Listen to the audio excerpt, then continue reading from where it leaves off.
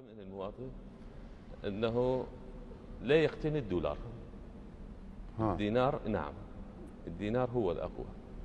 فلا يقتني نصيحه هذه عقب نصيحة رئيس الحكومة محمد السوداني للمواطن العراقي بعدم اقتناء الدولار لكون الدينار العراقي هو الأقوى التهبت أسعار الصرف أمام الدينار الذي انهارت قيمته في الأسواق. ليثبت السوداني مجددا أنه كسابقيه وأن وعوده ليست أكثر من ظاهرة صوتية.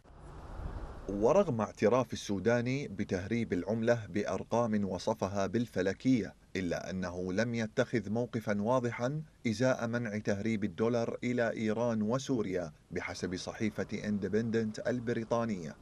وبالتالي فلن يتمكن من تأجيل الشروط الأمريكية المفروضة على تحويلات العملة الأجنبية إلى الخارج حيث كشف مصدر مطلع أن السوداني سيحاول خلال زيارته إلى أمريكا التذرع بأن العمل على المنصة الإلكترونية SWIFT التي أدخلتها واشنطن إلى البنك المركزي العراقي لمراقبة التحويلات الخارجية وتدقيق فواتير الاستيراد يتطلب وقتا للحصول على أجهزة متطورة وتدريب كوادر للعمل عليها وهو ما عده مراقبون محاولة من قبل حكومة الإطار لأخذ نفس بعد اشتداد الخناق عليها لثبوت تورط قواها المرتبطة بإيران في غسيل الأموال.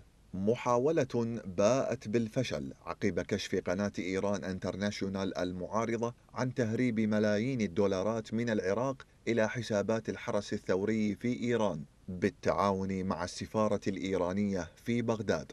حيث يقوم محمد تجنجاري المدير المالي للوحدة 400 في فيلق القدس بإيداع مبالغ يستحصلها من مكاتب صرافة في بغداد وكربلاء والنجف والسليمانية في حساب هذه الوحدة بفرع آقا بابائي لبنك الأنصار وبالتنسيق مع شبكة يديرها محمود حسن زادة القيادي في فيلق القدس. بمساعدة متنفذين عراقيين يسهلون إصدار شهادات إيداع أموال في طهران.